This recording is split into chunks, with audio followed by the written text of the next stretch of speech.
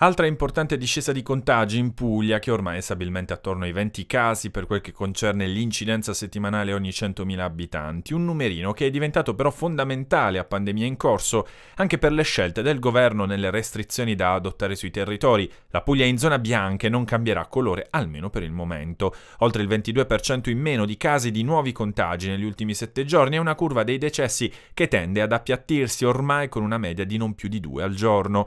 Tra le province risale quella di Taranto che si attesta ad una incidenza di 23 esattamente come la BAT. Resta poco più in alto Brindisi che comunque ha una netta diminuzione rispetto ai giorni scorsi e si attesta a 31 casi ogni 100.000 abitanti, mentre restano al di sotto dei 20 le altre province pugliesi.